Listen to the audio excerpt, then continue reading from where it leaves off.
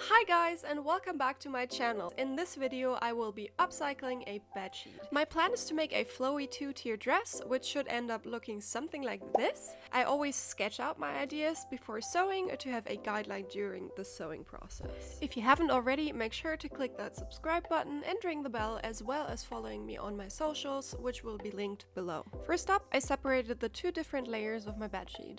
I didn't bother opening the seams and just cut it with my fabric scissors. I then folded my fabric in the middle and laid it out flat to cut out my first tier for the dress. I measured the length of the first tier on my dress form and figured about 60 centimeters should be good. Since the whole dress will be gathered, one panel should be enough for the width of my bust. I ended up having a panel which measured 60 centimeters in length and 2 meters 20 in width. This will make a tight gathering in the end. I overlocked one of the long sides and then folded it in about 3 centimeters to sew my gathering stitches. I prefer sewing across twice as it makes for a cleaner gathering. Knot the top threads together and gently pull together. This is gonna take some time as you do have to take in 2 meters 20 to your bust width, so be patient. Because if your thread rips, you have to do everything again. And we don't want that because probably you've already spent way too long together anyways. So continuing on, once I made it to the correct width, I top stitched the gathers into place. I tried top stitching along the gathering stitches, I also top stitched twice, but this is a pretty tricky thing to do, so make sure that your thread matches your fabric perfectly to kind of hide imperfection. The first tier ended up looking like this, and I really really like the volume it already had, which will be doubled in the end anyways by the second tier, so a lot of volume. In the back of the dress I wanted to add a little bow tie to close it, so I used my pillowcases to cut out two strips. I ended up using the pink lining, which was already attached to it on one side, because I really like the color combination for the straps. I cut out two pieces, which measured one time the length of the pillowcase and 7 centimeters wide, which will make for a 5 centimeter wide strap once it's all sewn together. I also measured 5 centimeters down the seam on the small edge to create a diagonal seam.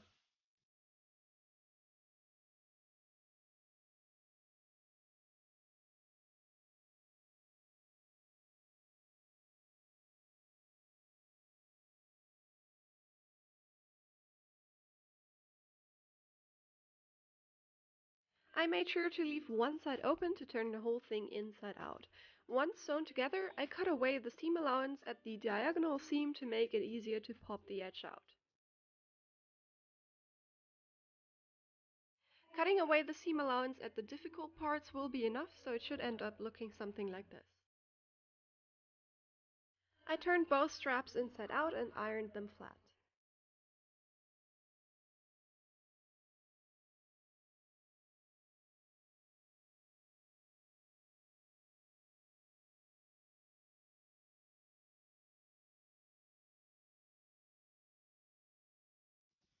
I then attached them to the upper corners of the open middle back seam.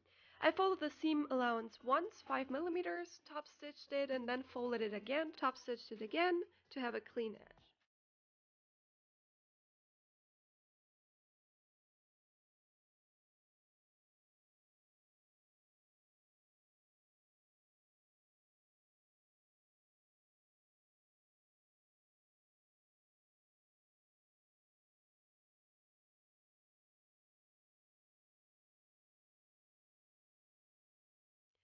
So basically I attached the straps first, closed the seam, leaving about 13 centimeters open, folded the seam allowance 5 millimeters, stitched down on both sides and folded it again to top stitch again and then finished the opening in the middle back.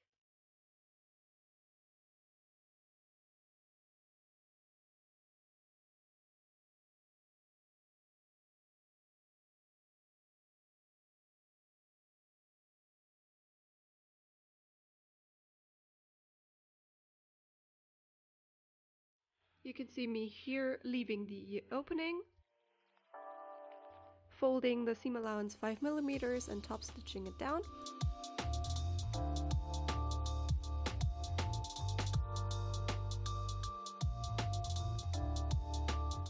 Which, by the way, ended up being kind of tricky with the whole strap attached already because it got really thick.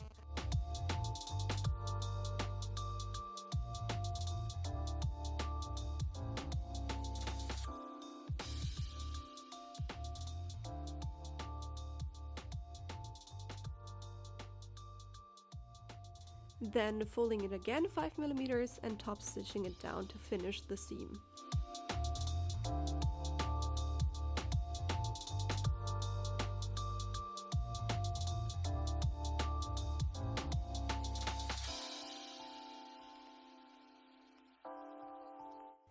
which got even harder with the straps already attached because you already folded it once and now you had to fold it again. So keep that in mind, leave it as thin as possible.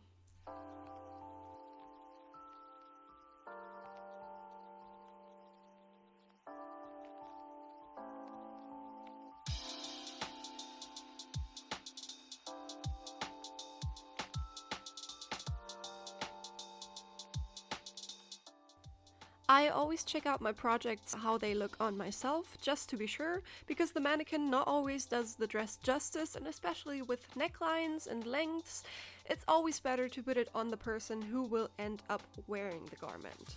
But to me it looked fine, so I continued on with the second tier of the dress. I already mentioned that I will be doubling the volume of the dress, which is why I cut out two panels for the second tier. They ended up measuring 40 centimeters in length and 2 times 2 meters 20, so 4 meters 40 in total in length. I ended up folding the whole thing in half, then cutting out 40 centimeters in length, opening it up and dividing it in the middle, so I ended up having two panels with those measurements.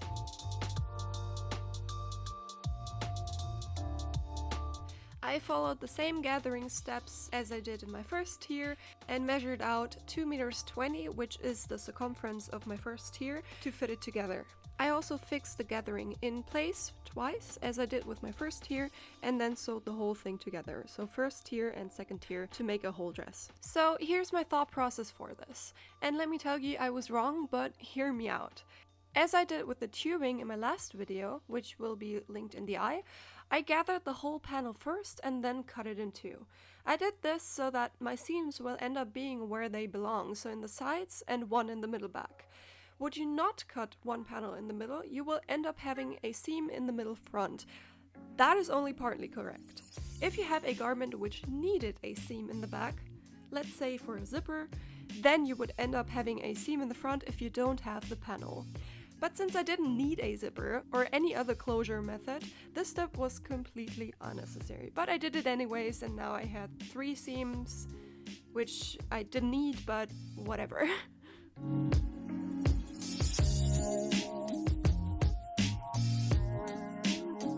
I laid out my two dress pieces, so tier 1 and 2, and put the right sides together to pin. Since gathering is quite inaccurate and my measured 2 meters 20 did not end up being 2 meters 20 but more like 2 meters 30, I had to deal with some volume while pinning. I do that by pinning down the middle of each length, so first half, then the half of the half, so a quarter, an eighth, a sixteenth, and so on, until I end up with a pin every 5 centimeters or so. This sounds really complicated, but it's actually not, so I don't know, maybe I can't explain. Just watch what I'm doing and you'll see what I mean by that. It's actually really easy.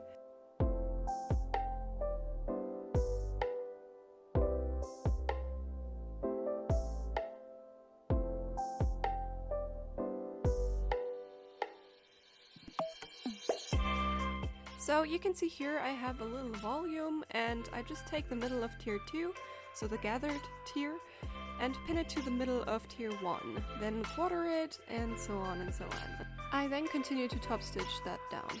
Make sure to leave enough seam allowance, I left about 2 centimeters to hide the gathering stitches.